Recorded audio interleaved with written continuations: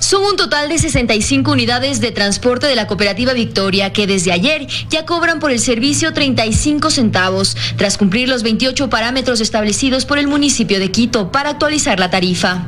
Llegar a concretar estos, esta tarifa después de 18 años de espera no es cosa común, es digno de felicitación a todos y cada uno de los miembros que hacemos Compañía Victoria. Esta cooperativa brinda el servicio en dos rutas con sus trayectos Colón-Camal, que son 26 kilómetros, y Oriente Quiteño, La Gasca, 37 kilómetros.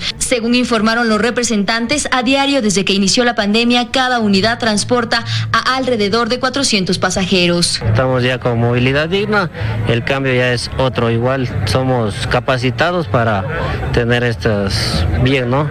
Para poder actualizar la tarifa desde la cooperativa Victoria, dicen que realizaron adecuaciones a las unidades, como la colocación de dispositivos GPS. El mejoramiento cuenta con un moderno sistema de comunicación interno que facilita la comunicación con la autoridad competente. Con la cooperativa Victoria son tres operadoras que ya actualizaron la tarifa de transporte a 35 centavos. Ellas son Guadalajara y Disutranza, que según dijo el secretario de Movilidad Guillermo Abad, continuarán con el monitoreo constante para verificar que se cumplan con los indicadores. Hay ciertos casos en los cuales recibimos reportes de alguna incidencia que les trasladamos a las operadoras y les decimos tenemos este registro, tal hora, tal lugar, tal unidad, en tal punto, georreferenciado, qué es lo que sucedió y esperamos una respuesta. En el evento de presentación de la actualización de la tarifa, además las autoridades municipales informaron que en los próximos días ya iniciará el proceso de vacunación para los transportistas. Fernanda Ceballos, 24 horas.